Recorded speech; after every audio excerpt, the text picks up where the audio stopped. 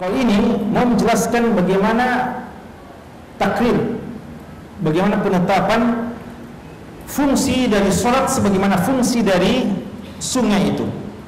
Kata Nabi Shallallahu Alaihi Wasallam, bagaimana pandangan kalian jika ada sungai?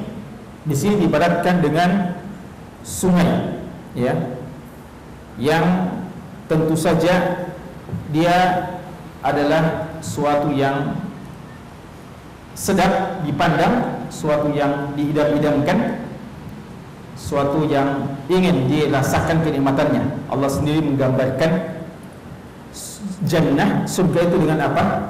Tajri min tahtihal anhar. Ya. Mengalir di bawahnya sungai-sungai. Karena itu kita lihat sebagian orang orang-orang yang kaya ya ingin juga merasakan bagaimana indahnya surga itu.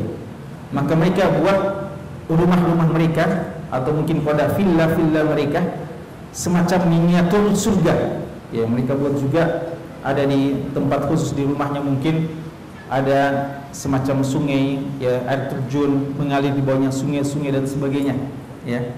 Mau menikmati bagaimana surga di dunia ini. Ada juga villa dan sebagainya.